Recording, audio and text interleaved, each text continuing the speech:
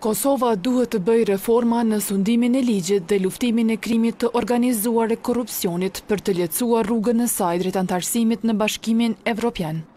Kjo ka qenë porosia kryesore e shefit të Zyrës së Bashkimit Evropian në Kosovë, Tomas Szunyog, në tryezën e organizuar Raporti i BE-së për Kosovën. Ai theksoi se raporti i progresit është rezultat i një vlerësimi, të cilin e ka cilësuar si të drejtë, derisa potencoi se në këtë vlerësim është ndjekur metodologjia e të gjitha vendeve.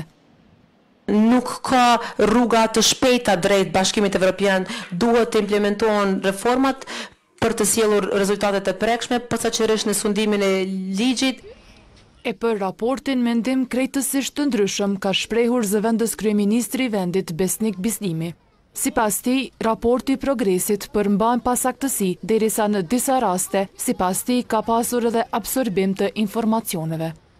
Ky raport do ngërthen në vete dy gjashtëmujorësh që janë krejtësisht të kundërt për nga njëri-tjetri, për shembull flet për mungesë të shumicës parlamentare dhe polarizimit të madh politik. Këtu shihet qartë që raporti i adresohet gjashtëmujorëshit të parë të kësaj periudhe njëvjeçare, për arsye se pas marsit dy mijë e njëzet e një, situata është krejt e kundërt. Nga ana tjetër, kryetarja e Komisionit për Integrim Evropian, Rrezarta Krasniqi, njoftoi se anëtarësimi në BE është synim strategjik i Kosovës. Anëtarësimi në BE është